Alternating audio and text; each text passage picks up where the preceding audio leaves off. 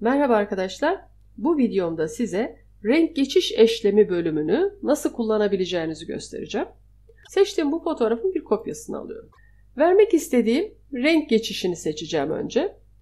Şöyle buradan fotoğrafıma vermek istediğim renklerimi seçiyorum.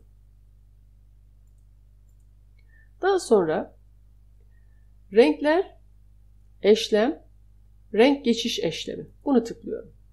Fotoğrafımda seçtiğim bu renklerle bir renk geçişi oluşuyor. Daha sonra da kip bölümüne gidiyorum. Burada çoğalt efektini seçiyorum. Tabii ki böyle biraz koyu oluyor. Bunu beğenmezseniz matlığını biraz açabilirsiniz. İki fotoğraf arasında böyle bir farklı renk geçişi oluşuyor.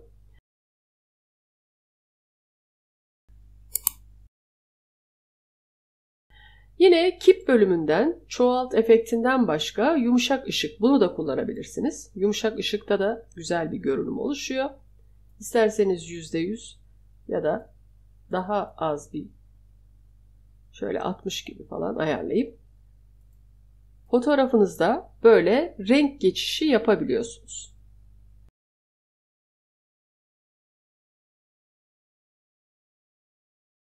Yine bunu normal bir renk geçişi katmanıyla da yapabilirsiniz. Bu katmanı kapatıyorum. Beyaz bir katman açıyorum.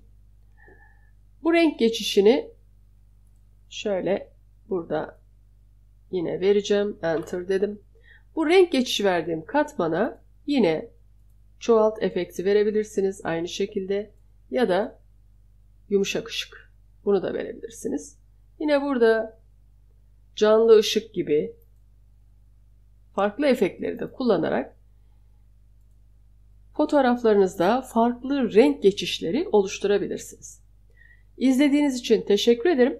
Yeni videolarda görüşmek üzere, hoşçakalın.